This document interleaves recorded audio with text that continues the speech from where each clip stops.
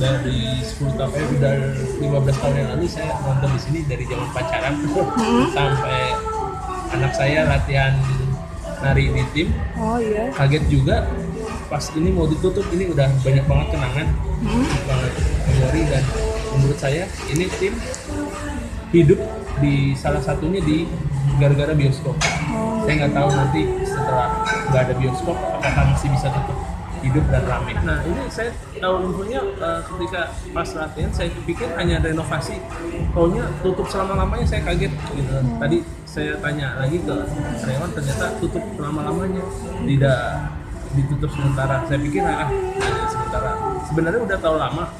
Oh. dari pelatih-pelatih hanya rumor. Saya pikir hanya rumor. Ternyata beneran.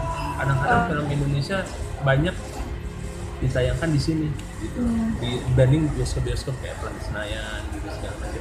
Mereka hanya grand launching apa apa premier cuman nggak selamanya di apa nggak selamanya ditayangkan kayak di sini gitu.